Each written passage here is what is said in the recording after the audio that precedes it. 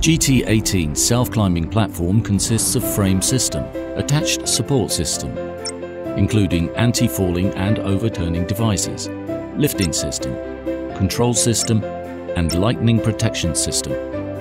Installation process. Firstly, the leveling frame shall be set up.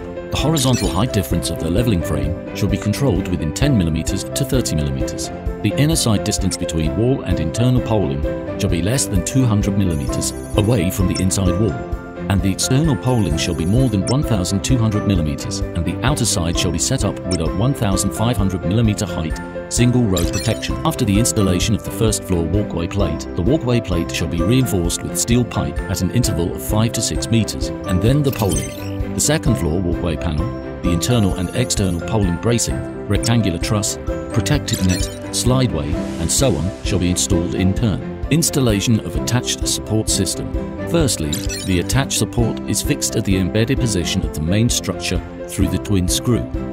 One square base plate and two nuts are used at both ends of the screw.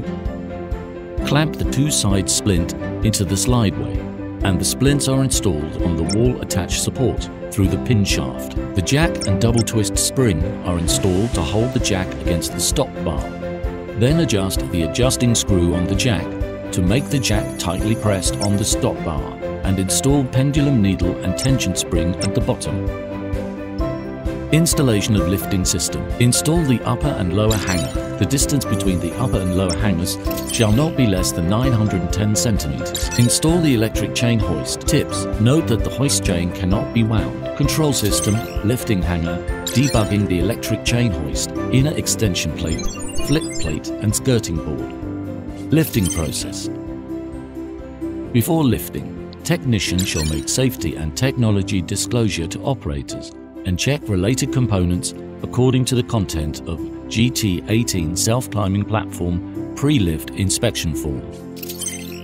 When climbing for the first time, open all flip plates, lift the frame to 1 meter and remove the first wall attaching support. At the same time, check the stress condition of lifting mechanism the frame and attach support and lift the frame to 2 meters. Double check the stress conditioning of lifting mechanism, frame and attach support and lift the bottom of frame to the flat floor position. Restore all the flip plates and then adjust each layer of the jack. Make the jack pressed on the rod of the slideway. Electric chain hoist unloading to make the jack fully stressed and then turn install the removed attached support on the top cycle operation until the building is capped. Dismantlement process.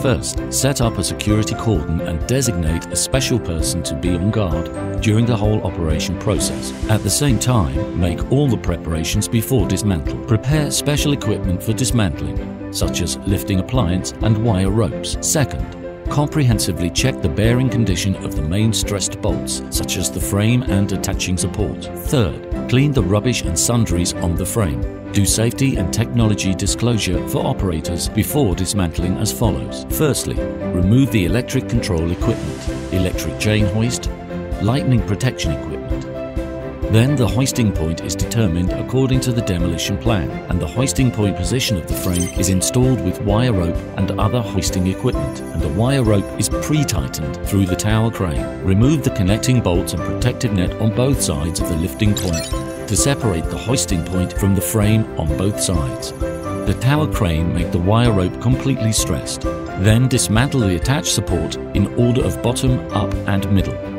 down the hoisting point to the ground by tower crane.